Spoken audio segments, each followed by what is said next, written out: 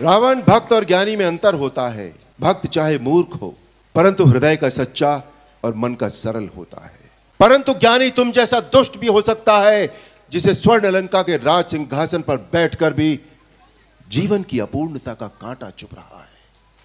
तुम्हारे जीवन में इस समय अशांति, चिंता और तड़प के अतिरिक्त और कुछ भी नहीं है। तुम्हारे जैसे हर दुराचारी को एक समय इस बात का आभास हो जाता है कि उसका अंत समय निकट आ गया है।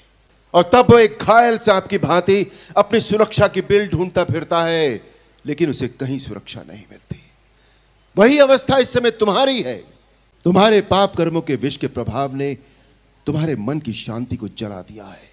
और तुम उस पाप के विषैले कांटे की चुभन को छुपाने के लिए ऊँची ऊँची आवाज़ में बड़ी बड़ी डींगे मार रहे हो, जिन्हें तुम्हारा अपना मन भी सच नहीं मानता। इसी का नाम है दुर्दशा।